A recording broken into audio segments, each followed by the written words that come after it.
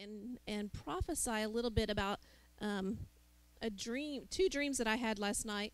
And so I, am really going to just um, interpret my dreams as we go here because we're in the season where God is speaking through dreams. We're at the very end of that season where God has really set time aside to speak through dreams. And um, I had two dreams last night about Andy. And honestly, I don't dream about Andy a whole lot. Nothing against him. I just he's just not in a lot of my dreams. I don't I don't have ex- my dreams are already come true. Right. Yeah. But there I had two dreams last night that that he was in and one of them was interesting. I haven't. I just told him a tiny bit, so I didn't tell him a whole lot. Um, but in one of the dreams, he kept coming into the room where I was sitting, and he was carrying um, a, a, Bible, not the one that you have here, not the one you have at home, but this different Bible, and you were more gray. You had gray, but you, you know, still had hair. I know he's always like, as long as I have hair, I do not care what color it is. Um, but yeah, your hair was a little more gray, and you had glasses on and you kept putting your glasses on, kept putting your glasses, and you take them off, and you put them back on, and I'm just like, when did you get glasses? And I was like, this is, and so anyway, it just kept going back and forth. So I was just really pondering that this morning because I just keep feeling like the Lord is saying our vision is very important for 2020. The way we see things, the way we hear things, and the way we look at things is very, very important. And so I really feel like the dream that I had about Andy having glasses on last night was very key for us as a body because, you know, he kind of leads us here. So that's why I'm, I'm saying these things publicly. It's not because, oh, I think I had a great dream and you should all hear about it. I think, yes, it has to do with him, but it has to do with us. And so he had these glasses on, and I was like, where did you get glasses? And again, I just think there's something about, and also the gray hair and all of those things speak of wisdom and, and the word that, that he was carrying, the Bible he was carrying, was a gigantic Bible, and I could see the words from across the room. So the vision got clearer and clearer. The word of the Lord became more and more clear. And, and so that is very, very important to us in this next season. We have to know what the Lord is say, saying, and you know what? He's going to show us. And I felt this morning when we were looking, I was just pondering some of these things, and I hadn't talked to Andy about any of it, but I said, I was just pondering with the Lord, and the way we see things can be very skewed, or we think we see things that we don't see, or we think we we interpret things the way they weren't supposed to be interpreted in what we see. So the point is, we must see clearly. We must see clearly, and we need to see very clearly so that we can have the strategy to walk through what we're supposed to walk through. Because the next dream I had Andy or Dusty had taken Andy hunting on a boat in the ocean. I don't know. It was really strange. But Leviathan, stop it. So, anyway, so this is really strange because I kept pondering it this morning and just asking the Lord. Because what happened was they took this big boat and I knew that they were in the ocean. I knew that they had gone across the ocean. But I was standing on where, you know, you dock the ships, all that. I'm, I'm standing at this pier, and I'm waiting for them to come back because Dusty had let me know I'm bringing him back. He has to have a shot really fast. I'm like, okay, okay. So hurry. I'm, I'm going to wait for you. I'm meeting you. And so as soon as they get there, I take Andy next door to the clinic, which is next door to the ocean, apparently. And they I was like, he just needs this shot so he can go. He has to go. They're waiting for him. He needs this shot. And they're like, well, you need to fill out this paperwork and you need to do it because we got to do your insurance. I said, I'm going to give you cash. Just give him the shot. He's got to go. And so I'm just pondering these things this morning. And um, I really feel like we have to have the strategy because when you're going across the ocean on international waves, in a boat, which speaks of ministries, with a key person in the church, the pastoral team is waiting to drive you across the ocean, hunting, I don't know what for. You have to do things in order and you have to be prepared. They had to come back to get the shot that he needed. And if we would see properly and hear clearly and have the strategy, he would have had the shot first, therefore not having to delay and come back. So, I don't know about you, but we, as our family in this church, are going to be listening and looking for the strategies of heaven because we have, you know, and this morning God just spoke to me faithfulness is everything. If you're going to check out a little, still be faithful. You know, maybe I can't do everything I was doing and I'm not and I'm not really checked in with the Lord perfectly, but just be faithful. Just show up.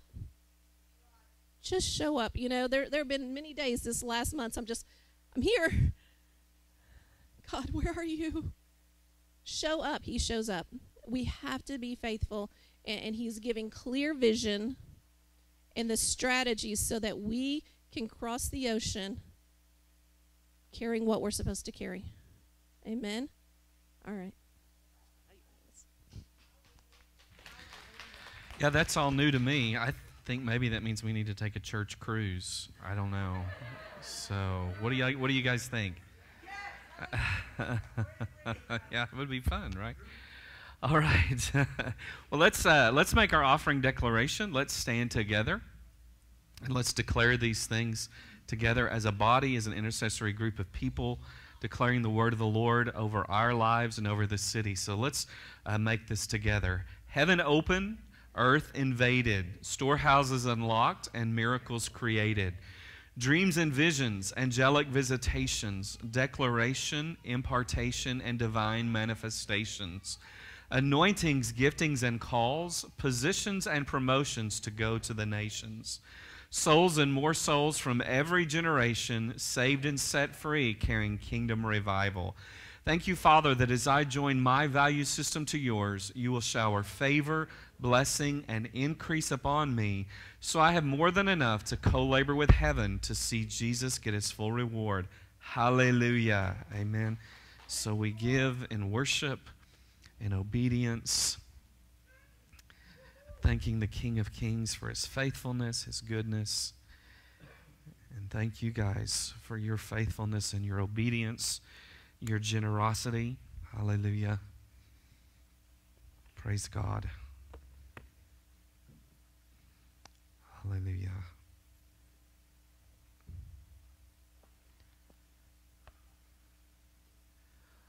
Hallelujah. At this time, let's dismiss our kids to go to their program.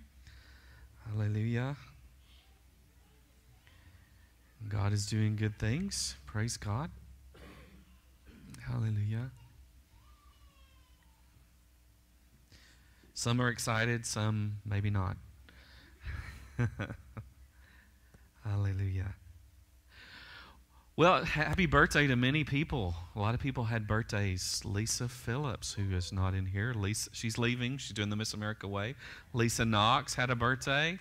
Alan Rudd had a birthday. Nora had a birthday. If you had a birthday in, over the last week and a half or so and I missed it, Raise your hand. Some would admit to it. All right. So, praise God. Well, happy birthday. I trust everybody had a great, uh, great um, holiday season. We are in our new house, kind of. It's a it's a process, but we've slept there three times, right? So, uh, hallelujah. So God's good. Now, today, just as, and those were, I, I hadn't heard all that that Jamie shared this morning, but, um, you know, I wanted to preach today about preparing for a decade of harvest.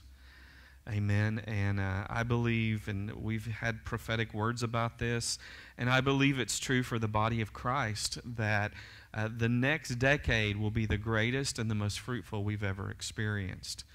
It doesn't mean it's going to be easy or tiptoe through the tulips or life as usual in the kingdom, but I believe it will be a very, very fruitful time for all of us in our lives and in the kingdom. And so, just yesterday, even in the last couple of days, I was I was listening again uh, to some of the prophetic words uh, that Charlie Shamp gave us this summer. Okay, and I and you guys know if you've been a part of this body that uh, we take, especially from, from proven prophetic voices, and especially someone like Charlie Shamp, who's an internationally known and internationally proven prophet, that we, uh, the word says that if, if you listen to the prophets, you will prosper. Who wants to prosper? Right? We, we all should. That's why we get excited about a new year, right? Because after Christmas, we're ready to prosper. right? we need to prosper. But I think if we if we pay attention to what the Lord is saying, principles in his word, things he's speaking to us out of his word and by his spirit, then God will direct our paths and lead us and give us strategy. So, when we're getting new strategy, I think it's very important to pay heed to the strategy that's already been given to us, right? Many of us have prophetic words in our life, probably all of us do. Many of us have prophetic words that we have yet to see come into fulfillment. But, you know, and so how do we sometimes need a strategy to get those things? So I just wanted to review um, some of the things that uh, God said prophetically on the Friday night service when Charlie Shamp was with us. And he said that the next 10 years will be the most fruitful for this ministry. Okay? And uh, he also said that um, this is a time of adding Amen. Adding to this body. And I believe that's not only numerically in people that He's bringing, and over the last months, God's just bringing more and more people into this place to be equipped, not just to be people who hear a good sermon, hopefully you're hearing a good sermon, or experience some good worship, but people that are getting equipped for what God has called us to do. There is an adding to this army, and there's also part of the adding to. And we all get excited when God says, I'm adding to you, right? But generally, the word to us also that God was giving a, a weight of responsibility to this church because of the call that's on this place. Am I okay on, can you guys hear me? Am I ringing or anything? Okay. So, um, you know, we all get excited about words about adding, but on your job, when you get more responsibility, right? Is that a weighty thing? Generally, okay? Uh, because, and it's often because, okay, you've proven yourself faithful in a season, and so God is giving you greater responsibility.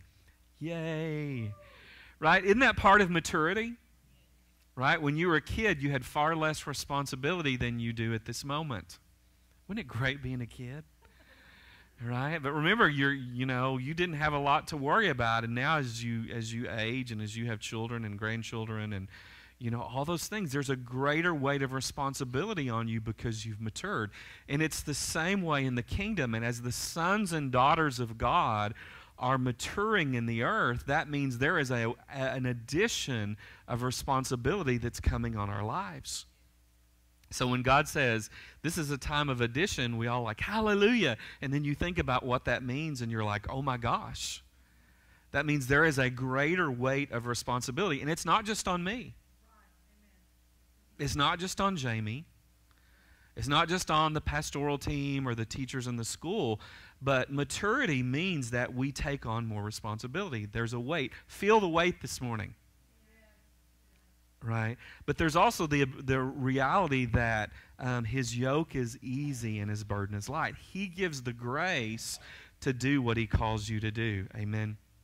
Another thing that God said through Charlie was that uh, that those bound by demons and addiction will be set free and added to what God is going to do. Hallelujah. I'm going to say that again. Those that are bound by demons and addiction are, are going to be set free and added to what God is going to do. Now, again, we get all excited about that until people who are addicted and bound by demons show up. And then we're like, well, what are they doing here?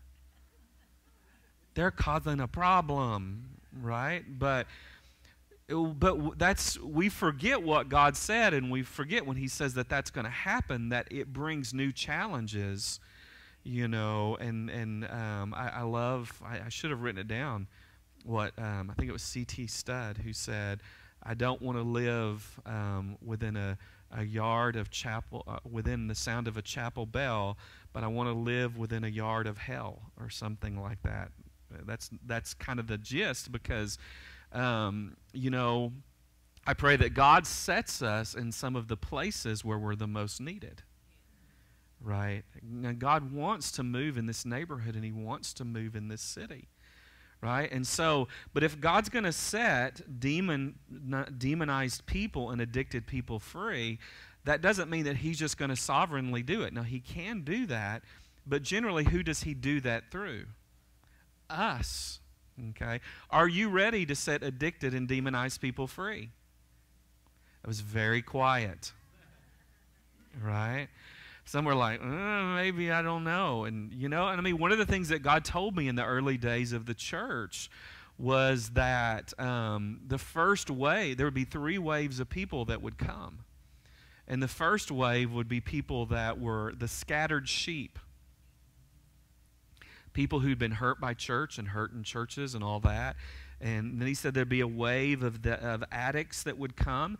And then he finally said there'd be a wave of those that had been bound by witchcraft that would come in. Amen. Now, I don't know where we are in that process. I mean, that process may take various things. But the thing is, that means we have to prepare for harvest. Amen. And so, if we're going to have a real strategy for harvest, we have to be involved in the harvest. Anybody ever baled hay? Did it? Yeah. Did it bale itself? Was it there ripe and ready for somebody to go bale it? Did it demand some work? Did it demand some uncomfortable moments? Right? But there was a harvest that we needed to participate in if we were going to see the fruit of that. Okay? So we have to understand what harvesting means, right? Said also that Charlie said that we would go into the most poverty stricken areas of the city and people will be set free. I think we're in one. I don't know. You know, God's planted us at this neighborhood at this moment, and there are other places, and I'm not saying this is a bad neighborhood. Uh, God's transforming some things, and there are other areas all throughout the city and this region that God wants to touch. Amen. And, uh, you know, there are moments that I wish I were in a different part of town right? But then there are moments I'm like, no, God, you've put me exactly, you've put us exactly where you want us at this moment. Right? And so another thing that Charlie said was, was that this was, and he said many, many things, but he said that um, this is a house of deliverance. Right? And that this is a house where, uh, because of the deliverance anointing that's on this house, people are going to set for, get set free. He also said that there was a strong um, anointing of discernment to drive out the witchcraft that's in this city. Okay, and you know there, you know, before you get a mental picture, there are various degrees and levels of witchcraft, and and um, I, I think some of the witchcraft that we've battled the most have been Christians operating in charismatic witchcraft. And some of those things, that's a whole nother message. But, uh, you know, so don't think of sometimes what you traditionally think of, man. So those are some powerful words, right? But that means if we're a house, and another word that he said was this was a house of revival, there's a revival anointing on this place. But if all those things are coming to manifestation and that God has a, a, a an anointing for deliverance, then that needs to increase in our lives. Okay? So let's talk about that for a few minutes. Amen. So, what does it mean to be a house of deliverance? Right? Um, so let's first of all let's look at the New Testament foundation of this. Okay. Now I use the word ter- the term deliverance, and if you've been here a while, you understand that term. But just for a, a definition, deliverance refers to setting people free from the influence of evil spirits, or in other words, the casting out of demons. Okay. Now, this month in Supernatural School, uh, every month we have a different topic. This month is the School of Deliverance. Okay. And we've been leading up to this. We had the School of Inner Healing last month. This, uh, you know, we had a School of Physical Healing. You can't separate physical healing, inner healing, and deliverance. They're all intertwined, right? And uh, um, so, but we'll be focusing on deliverance. So, this is kind of an introduction to what we're going to be talking about in the month of January, okay? So, uh, you know, and deliverance can have a lot of different implications. Some people won't even use the term deliverance anymore because it scares people, right? And I think there's some wisdom to that because, as in anything, there are excesses. And I know our friend Rodney Hogue, he even uses the term freedom prayer, right? Uh, because sometimes deliverance conjures up images of extreme manifestations and and uh, people throwing up in buckets and some of those things. And but we're talking about freedom and people getting set free. That can be not only addressing spirits that are captivating people but also false mindsets that keep people in bondage right things and cycles of defeat and sin that keep us bound all of those different things now, as we talk about deliverance, I do want to give a little bit of disclaimer, okay? When we're talking about deliverance, that doesn't mean that we can forfeit personal responsibility. Right? Because we have responsibility for walking in holiness. Right? We have responsibility for realizing that sin is sin and coming out of it right? And we can't always say, well, I, you know, the devil made me do that. Right? No, not really. No matter how bound, there, how much bondage there may be, no matter how much oppression there may be, we have to make choices to walk in holiness. Right? So I just wanted to give that disclaimer. You know, we can't blame everything on the devil. We still have to repent of sin and overcome the flesh. Okay? And, uh, but deliverance can often be an important step in freedom that a lot of times many people don't consider. Okay? And, and much of the church has turned away from a deliverance ministry and having deliverance ministry. But the reality is, there is a New Testament pattern and foundation for deliverance and people getting set free. Amen. So, in his earthly ministry, Jesus did four things on a regular basis. You know, it was popular a few year, years ago. What would Jesus do? Right? Everybody was carrying the, uh, the you know the had the bracelets on WWJD and you know and uh, basically it was like it was all about a lot of it was about holiness and being kind but you know the four things that Jesus did he preached he taught he healed the sick and he cast out devils so if you want to walk like Jesus walks, you're going to cast some devils out. Okay? Now, y'all are staying with me so far.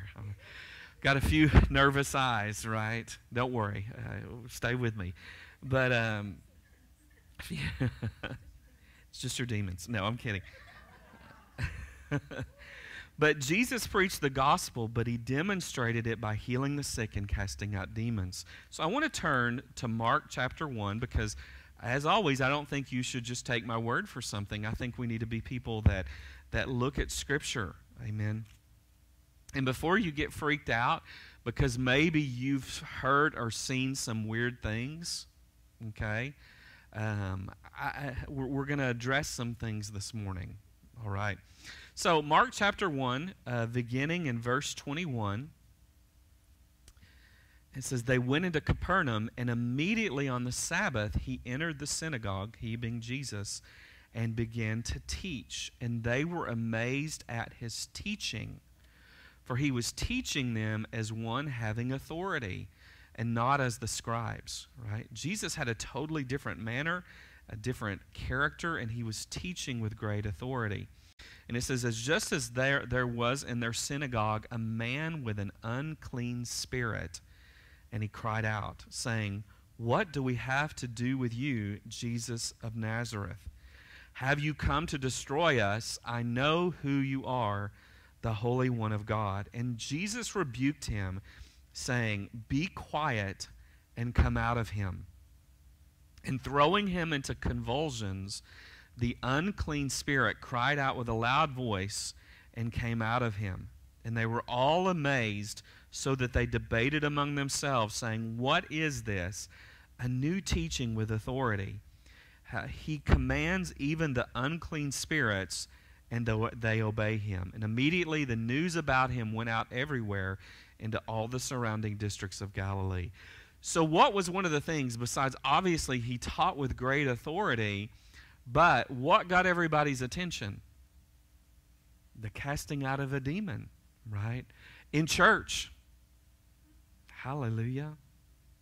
And so we see as a result of these things that there was a, a, a the news spread quickly. In the next uh, passage, he, he rebukes a fever from Simon Peter's mother in law, and she's able to. Again, remember, and this is uh, when you're rebuking a fever, this was when a day when nobody had antibiotics. And if you had a fever, you could die. You know, I think we think sometimes when we read that, that's like Jesus, um, like, oh, they've got the flu, or no, he, he, this could have been a very life afflicting, um, you know, people used to die from things like the flu, right? Because no one could get those things under control. And so Jesus rebukes this, and it leaves so suddenly and so powerfully that she gets up and she starts waiting on everybody. I don't know about you, but when I'm sick, give me some time right? Oh, I'm a little flustered. I need to I need to lay here and watch Netflix for a while, right? But she gets up and she waits on him, right? And so then, you know, uh, uh, she's a mom, right? so this word spreads about what Jesus did in the synagogue and, and what happens in verse 32 says and when the evening had come after the sun had set they began bringing to him all who were ill and those who were demon possessed. And the whole city had gathered at the door. Wow. And he healed many who were ill with various diseases, diseases and diseasers, right? And he cast out many demons and was not permitting the demons to speak because they knew who he was. Amen. So here's this thing that happens, and as a result of what Jesus does, the whole city gathers at his door. I tell you what, you start casting some devils out, and, and some real freedom, right? Cities will gather at your door, right? Um, you know, if you, Dwayne, I mean, when word gets out, you know, that uh, that everybody comes right? It's just what happens, especially if you do things with love, compassion, um, biblically, and not doing it as a spectacle, right? But actually moving with real compassion. And I know, I know Rodney Hogue talks about, and Rodney's a good friend, he teaches a lot on deliverance with uh, global awakening. But Rodney says he knows when there's an anointing for deliverance that's present in his life because there's a, an element of compassion that starts coming right? That's greater than his normal compassion, right? So that's a very important thing when you're talking about deliverance. So here's all this happening with Jesus, and uh, then let's read in Mark um, one and reading on in verse 39. I think this is very an interesting statement. It says, and he went into their synagogue and throughout all Galilee, preaching and casting out the demons. Okay, that kind of summarizes the ministry of Jesus, right? It was as common for Jesus to cast out demons as it was for him to preach a sermon, okay? And um, it was a normal part of the gospel of the kingdom that Jesus preached. Okay? Isn't this such a great sermon the Sunday after Christmas? Yeah, nobody nobody's like the Sunday after Christmas, let's talk about demons, right?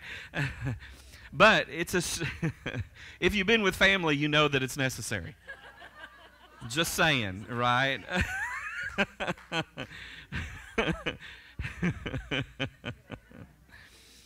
right. So, so let's talk for just a minute because this really is, now it's not so controversial here because we have a foundation of it, okay? But it, uh, it, it is important to understand that there are obstacles to deliverance that we need to remove from our understanding, right, from the church today. And uh, first of all, one of our biggest obstacles when we start dealing with stuff like this is ignorance. And ignorance just means you just don't know. Okay? And so you know, one of the things people will get like, well, you know, I'm a Christian. I, I, do, do they, do, can demons really affect Christians? Yes. Um, and sometimes Christians actually get targeted more. Okay? And so um, people would ask John Wimber, he said, people can constantly ask if Christians ca- can have demons. And my response is usually, sure, we find them there all the time. right? And, uh, and hell has a very well practiced strategy, and it's called denial to keep people in bondage. Okay? And, and really, deception is a strategy. Denial and deception, those are strategies that, that work well. And demons are really good at it. Right? So, Father, I thank you for your anointing today. Right? I thank you that you're opening our hearts to receive truth. And uh, Father, thank you for your presence. Father, that deals with deception even this morning, Lord. And just every spirit of unbelief, I just command you to go right now. Right? So I'll give a quick testimony before I go into the rest of this. Um, when I was a teenager, living here in Ardmore, um, there was a church that started um, moving in deliverance. And I'm not sure that they did everything right, but in the 80s, we were all learning a lot, right? And um, I had a, a, I was going to a Southern Baptist church here in town, and lo and behold, my youth pastor got and his wife got baptized in the Holy Spirit and um, it caused it was like a someone had kicked a hornet's nest because uh, there was so much happening from that in our our Baptist church. Now, you know, much of what was happening in this church was causing a stir. And so um, I went to college at Oklahoma Baptist University. I was a very good Baptist boy um, my youth pastors. And I, I just say that because I have great respect for the Southern Baptist Church, uh, great respect for uh, what they've attained and what they've done. Pray for them as they are facing many challenging days, just like all of the body of Christ at this moment. But um, I went to Oklahoma Baptist University. My roommate and I were from the same church, and um, our youth pastor and his wife had moved to Midwest City um, just about a 30 minute drive away from where we were, and they invited us to come over. And um, my my roommate was very close to them, and uh, three of us from that same church were all going to Oklahoma Baptist University. And so one evening, we drove over to visit my youth pastor and his wife, and um, I was very curious, but very cautious, right? Because I'd been warned, stay away from them. I'd been warned not to pray in tongues because that was from the devil. Um, I'd warned that people were being brainwashed and all this kind of stuff. And so we went over and um, went in. And as we went in and sat down, and my youth pastor and his wife were just sharing their testimony. And I began to get really, really, really uncomfortable in a very unusual way. I don't think I've ever told you about this, maybe a long time ago.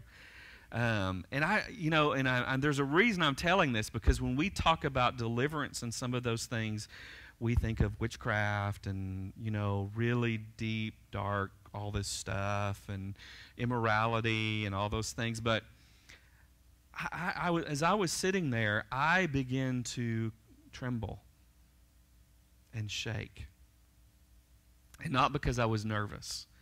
It was a very uncommon trembling and shaking. And I'm sitting there, and I, as we're around the table, and I, I looked at everybody and said, I don't know what's happening to me. And they did, right? Because something was manifesting. And no one was addressing it, no one was speaking to anything. Um, but, and they just simply looked at me and said, In the name of Jesus, you leave Andy alone and you leave right now. And something left. And my um, questions about deliverance and my unbelief about deliverance suddenly left with it. Now, my questions didn't. But I suddenly realized that there was something of unbelief that was on my life. Right? And sometimes one of the things that we will often deal with when we're dealing with deliverance, whether it comes through teaching or speaking to things, unbelief is a really, really big one. Right? And it's probably one of the biggest demonic deceptions in the church today. And we've been taught many times to not believe things, but we get bound by demonic unbelief. Right? And it will often keep people from getting saved. It will keep people um, from getting free from dead churches. It will keep people bound and not believing in healing or the gifts of the Spirit because the devil really, really, really is good at deception. Right? And um, I just want to read out of 1 Timothy. Let me look. I think it's 1 Timothy 4 1. Let's read that together. And it's funny because the devil keeps using the same deceptions over and over throughout history. They may have different names, they may come through different sources, but some of the things that the church is dealing with in heresies right now, they're old heresies, they just have new names. Okay? So First, First Timothy 4 1, the Spirit explicitly says that in later times some will fall away from the faith, paying attention to what? Deceitful spirits and doctrines of demons. Right? And so, some of the things that are really warring against the church uh, are designed to keep Christians in bondage or to keep people who are close to believing from not only getting saved, but if they do get saved, from getting free right? And there are doctrines of demons right now. And I, would say two of the biggest ones in the church right now are universalism, the belief that we're all saved, and that no one has to make a personal commitment or relationship to Jesus. That is a huge demonic deception. And yet the other one is cessationism that the gifts of the Spirit, that miracles, and all those things have ceased. Because, first of all, if the devil can keep you in bondage and you're not moving in power, then the gospel is ineffective in your life. There's a certain amount of effectiveness, but it could be more effective. And then on the other end, if he can keep everybody convinced that no one has to make a personal choice, that we're all saved because of what Jesus has done, that's as big of a deception that's leading people to eternal torment right? There's those are two huge deceptions in the church right now. And, and one, you know, and then again, you know, if we do get saved, the enemy tries to keep us bound, not believing that there's a problem that we need to deal with the demonic. Right? Now, sometimes it's as simple, and if you were an inner healing last month, and or if you've been in inner healing in the class in the past, you understand that as we learn to get healed, as we learn to get rid of trauma, as we learn to close doors, as we learn to forgive, many times those demonic issues in our life, we get set free. And those things leave, all right? But then sometimes there are things that hang on because they don't like to go and they look for legal rights to stay Right? And then sometimes you do have to address things. I mean, this morning it was really strange because when we were in worship, I just was like, oh, death, you've been overcome. Death, you've been overcome. And I felt something of his, his anointing and his presence striking a spirit of death this morning. I mean, I felt that. I felt the authority of the king, the authority of the lamb, moving against the power of death. Amen. So we just declare that today, not only in our body, but we're an intercessory people. So we declare that even over this city, over the city, that the power of death is being broken. That power of death that's in the east, I thank you, Lord. I ask that you judge that and you bring that down. That thing that stood in the east and has brought death to, to people, that's brought a death assignment, that's tried to even bring a death assignment to that whole region. And anything that happens there, Father, I ask that you just extend your hand right now. And Lord, that you begin to deal with that. Father God, I thank you that it's you that move in authority. And Lord, I just thank you. We uh, ask that you deal with that power. Lord, I thank you that you're, you've given us the keys to the kingdom kingdom of life and power and joy and victory. So, Father, we thank you today. And Lord, I thank you that we're hidden in you, that the name of the Lord is a strong tower. Father God, the name of the Lord is a strong tower, and you hide us in the shadow and the shelter of your wings. So, hallelujah. You notice I just didn't go ramshackle against something, binding something up. Like, we're asking the Lord to deal with that. Okay? Uh, you know, um, just don't go blindly up against a principality and a power. Right? You may sense the Lord doing something. We agree with what the Lord wants to do. Let Him do it, right? And we partner with Him. Uh, but just be careful about how you go against something like that, right? Hallelujah. That's just a whole side note. But I just, uh, he, he, I just sense His hand uh, uh moving and uh, the Lord doing something. So, Hallelujah. So we can be in ignorance uh, uh, of what the Lord wants to do. I was ignorant as an 18 year old college Baptist college student that I had a spirit of unbelief. But then the Lord showed up, right? And there was a little bit of a manifestation, but they didn't allow it, right? And that thing lifted off me, and I was suddenly like, oh, I believe that this is real. And, you know, sometimes something happens and we're like, I'm not sure that I have the theology for this. And then you start reading the Bible and you're like, oh my gosh, my experience matches some theology. Right? But, you know, so we have to be careful in all those, uh, all those things of what the Lord shows us. So, ignorance. Then there's fear. There's, I don't think there's any other ministry that is as fearful as this right? Because of the unknown. But and a lot of it, let's just be honest, it comes because people often see extremes that some that some ministers operate in, and fear those types of deliverance ministry, and they probably should. Right? Um, there, there are two approaches to deliverance. Okay, I want to give some understanding here. Um, and a lot of times when we read stuff like we just read in Mark, or you read the book of Acts and you see um, people manifest and all this kind of stuff. You've got to remember that in the book of Acts and in the gospel, Jesus was bringing the kingdom into a territory where it, it had never been before. And there were, there were uh, sorcerers opposing him. Uh, in the church. There were these types of things happening, and as the kingdom was coming in, it was causing a, a clashing of kingdoms. It was a very combative style.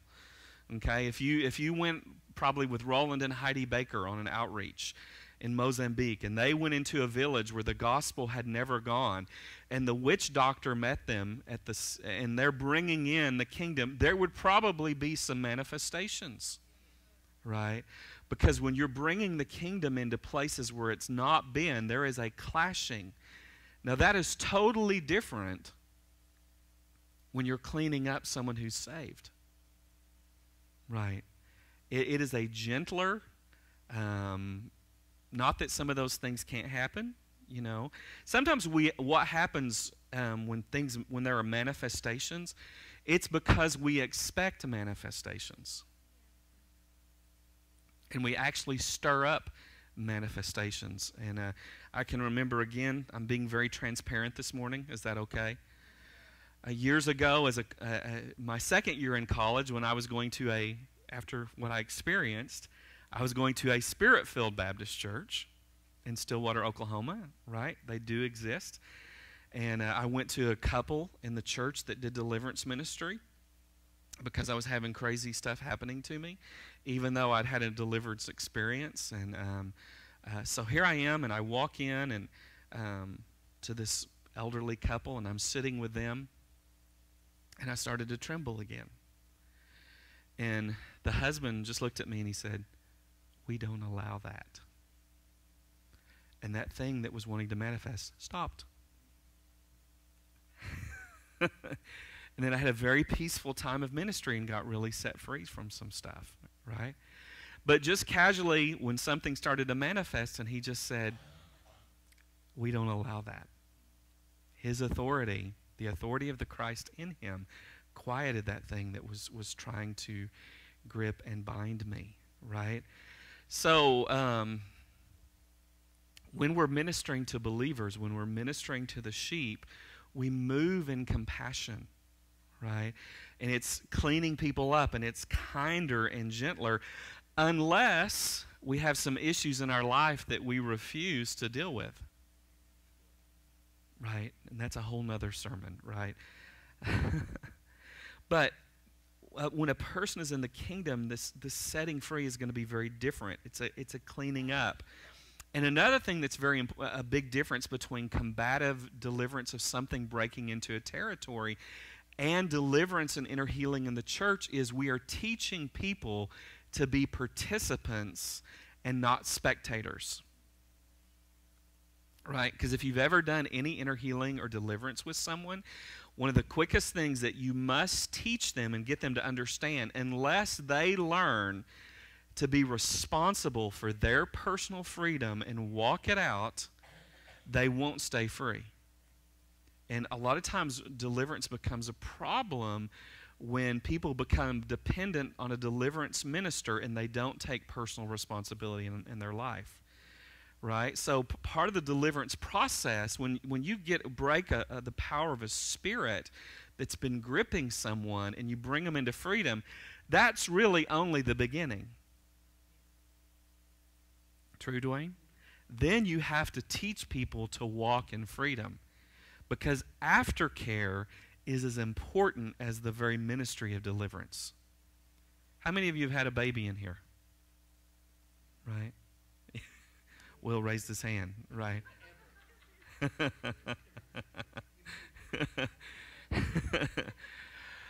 as important as childbirth is, and you're like, "Ooh, I delivered that thing," whoo, is aftercare important? Yeah, you have decades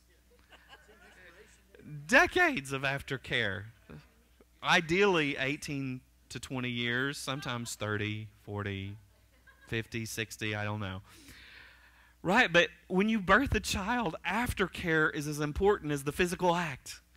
Right? Because if you don't care for the child, everything that you've gained is lost.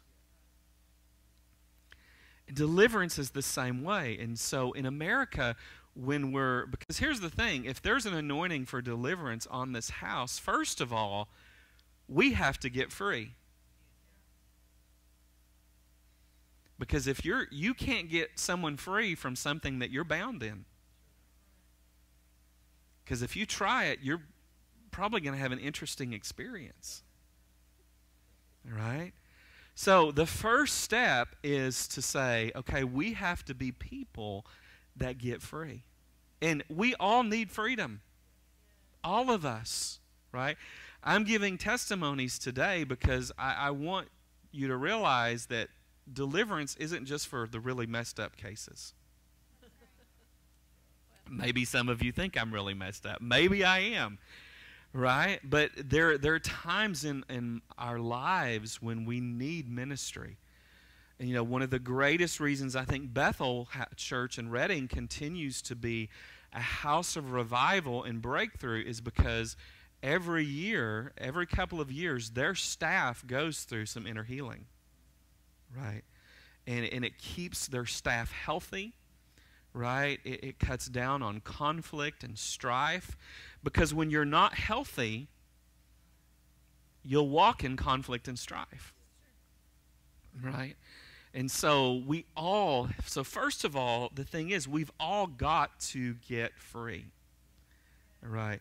So I just want to challenge all of us for the upcoming year, and I'm not done with my sermon, y'all. Don't get excited. I've preached shorter the last two Sundays so that I could go a lot longer today. Right? I've been telling Jamie I can go to 12:30 today. and she said no. She said nobody wants that, right? So, so first of all, um, there are no rollover minutes. Good grief. Well, there are today, right? It's a new day and a new year and a new model. That's all I'm going to say, right? it's, it's close, right? We're stepping in early. We're forerunners, right? So, first of all, if you have an issue, there, there's really no reason to be ashamed. Because the next part is after um, ignorance and fear, one of the things that the church deals with this ministry that they don't want to move into it is because of stigma. Right? But we all have stuff, right? And we all need care and ministry to get free. And, you know, um, people have had this thought that if you need deliverance, it's alarming, it's embarrassing, it's shameful.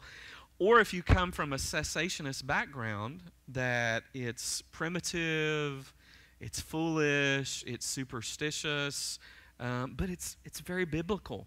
And, you know, it's really interesting because in the New Testament, people talk about deliverance very, very openly. And I even, you know, even in uh, um, Luke 8 2, where they're talking about Mary Magdalene, they say, whom seven spirits were cast out of. Right? L- like it's not a big deal. Right? Like if today I said, oh, everybody, you know, um, I know I'm being very careful. Just like here's here's Jamie Rudd, whom three spirits were cast out of. She's with us today, right? you know how weird would that be? But that's kind of what they said. Well, this Mary Magdalene, they cast seven devils out of her. You know, there's no stigma, right? Now, you know, again, when you're doing deliverance ministry, it's very important that you guard and protect a per- person's privacy, right? But in the New Testament, they're like, hey, this is no big deal, okay? Let's also look at Luke, um, uh, Luke 8.10, which is what I just read. But let's read that, I think. No, it's actually a different passage. Yeah, it's Mary Magdalene. Talking about some women who had been healed of evil spirits and sicknesses. They just group deliverance and healing together. Even though they're different, here are these people who've been healed of evil spirits, and they were especially women, right? And sicknesses. I'm just kidding. I'm just kidding. I'm seeing if y'all are paying attention. And Mary, who was called Magdalene, from whom seven demons had gone out. Right? So they just act like it's no big deal. And then what about Luke 13? And we'll just make reference to that. Um, the, the lady who had the spirit of infirmity, right? And it had caused her, I can't remember if that's the one where she was bent over or she had the issue of blood. Somebody can look it up and tell me. But um, they call her a daughter of Abraham. Right? Here's this daughter of Abraham, someone who's not foreign to the covenants of promise and Satan's had her bound. Sometimes even sicknesses, physical afflictions, uh, those can be caused by spirits of infirmity, right? I mean, you can, you know, and sometimes when you, we, we think of like the passage in where it talks about legion in the book of Mark, where, what's your name? well, my name's Legion, for there are many of us, all right. When we think of deliverance, we think of that passage, but really, you know, here's this woman in Luke and um, the Luke 13 passage who seems to pretty much have it together, except she's bound by infirmity. Right? It can be something as simple as that. And yet, Jesus wants people bound with a spirit of infirmity to be free. Right? And that's what happens many times when you're wanting to move in healing ministry you know, because here's what I found no one really wants to, honestly, say, man, I want to be a deliverance minister. I rarely see that. What happens a lot of times is people are like, man, I want to pray for the sick and I want to see them get healed. And when you start praying for the sick, what happens? You start running into demons, right? You start running into critters. And and you know you find yourself being dragged into deliverance ministry. The good news is you guys have we have authority over them. We have authority, but we also need to experience healing. So here's my challenge to us. Understand that there's not a stigma to needing deliverance or healing. Right? There's just not. And if you need it, if you're sick in an area, get healthy. There's no shame in that, right? And so I encourage you if you need deliverance, right? Get it. If you need inner healing, get it. And then the second thing, if we're to be a house of deliverance and there's a harvest that's coming in, you know what? If we have multitudes of people who need deliverance, Dwayne and Shelley can't do it all. Jamie and I can't do it all. Right? That means that, hello, this is the day of the saints when your basic equipment as a believer is to set people free. Now, a lot of people run from that because it means that we have to clean our junk up. Right? That we have to be healthy. But if harvest is coming, like the prophets say it's coming, right? And we're beginning to see things happen like celebrities getting born again. I mean, you know, reports, we've seen what's happened with Kanye, right? Justin Bieber, what's he's further coming into some understanding. I read about a um, a uh, Victoria's Secret model who who's gotten saved. I mean, there's something happening. That's going to have a trickle down effect where it's not just Hollywood, but when Ardmore, Oklahoma, right? But that means that we have to be people that go and bale the hay. And it may be challenging. you may be, get sweaty and dirty. It may wear you out. And I thank God God's giving us some revelation where it's going faster and easier, right? And our knowledge is increasing. But that means that we as believers have to be those that are equipped to not only go into the harvest, not only go and catch the fish, but what happens after you catch the fish? You got to clean them. Right? So if we believe in harvest, my challenge to you is that that anointing for deliverance in our lives has to increase. The Lord has said that we are a house of deliverance. I've been sensing for months, just even for my own life, and I'll be honest, I don't really like to do deliverance. I don't like it. Um, it's it's um, challenging. It takes time. Um, one of the most heartbreaking things I, I see is when you do deliverance with someone and they go back into things that kept them bound. That's really difficult, right? It's really heartbreaking. That's the part of ministry that we all need to understand that when people walk away from freedom, it's difficult. Right? And you've seen the Lord invest in people. And so there's risk. But you know what? There's always risk in ministry. There's always risk in loving people. Right? There's always risk in getting in the trenches with people, right? You, you, you learn to do it with love and you learn to do it with boundaries, but you have to do it, right? So if we're going to go into this harvest, there's a call for every one of us to step into this. Hallelujah. So, If you want to know more, come to Supernatural School. Right? This really isn't just a big commercial for it, but but and many of you have been through it. Right? But but there there is a weight of responsibility that is on us as believers. I don't know about you guys. I want to be a biblical believer. I, I want to be a biblical believer.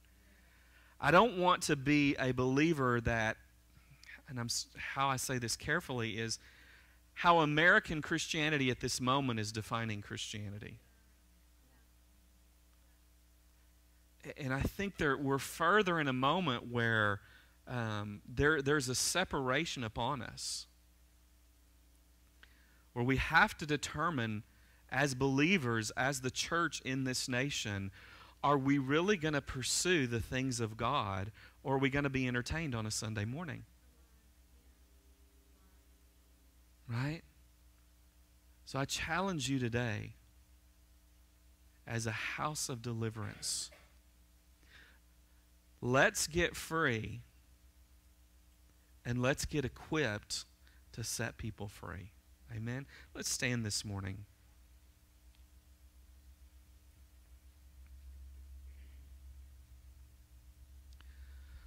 Father, I just want to thank you today for the harvest. Lord, you said to lift up our eyes and to look. Look all around us because the harvest is plentiful, but the workers are few. And so, Father, I thank you today. First of all, I just pray right now that you just release an anointing to set people free. Father, that you would just set us free. Areas even where we're in self denial or areas where we try to hide. Lord, not out of conviction or condemnation, not out of condemnation, but out of conviction. But because, God, you want us free, because you love us. And so I pray even now that you just extend your hand. Holy Spirit, I ask you to move. Come, Holy Spirit, and begin to set people free. And even begin to highlight areas where we need to be free. Again, not beca- to condemn anyone, but Lord, because you love us and you want us healthy. And Father, I ask as well, Lord, that you begin to touch people, Holy Spirit, right now, that you begin to call them. Those that you've set aside, especially, and we all have different calls, but Lord, we all, you've all given us the basic equipment for dealing with the demonic. But Father, I ask that you even begin to touch those and call those, even if you have to do it dragging and screaming, dragging them into this ministry. Father God, that you're going to clean up in the harvest. Father, you're going to set people free. You're going to deliver them. You're going to bring them into maturity. And Father, I thank you that there's an anointing for this even to, to accelerate people's lives. Father, that people won't have to come in and struggle for months or years with stuff, but they're going to get set free and there's going to be great fruitfulness. I, Lord, I just declare that anointing of acceleration. Father, even on people's lives that are here today, Father, some that have struggled, Lord, I ask that you just set them free this morning. Father, that you break off those bondages and those things, those even belief systems, Father God, that have kept people in bondage. So, Father, I thank you. Holy Spirit, I thank you for the multitude of things that you're doing in people's lives. I just sense your work and your ministry today. Thank you for what you're doing. Thank you that you're setting people free. And, Father, there's just a, a season of people being set free, people getting saved, and people coming out of bondages. Father God, I thank you for what you're going to do. Holy Spirit, come. Holy Spirit, come today. Father, I pray that even where there have been uh, where there's been unbelief on people, that you would just lift off right now. Spirit of unbelief, I command you to go right now. Any spirit of doubt and unbelief that's kept people in bondage, I command you to go and you come off their minds right now. You come off the back of their necks right now in Jesus' name.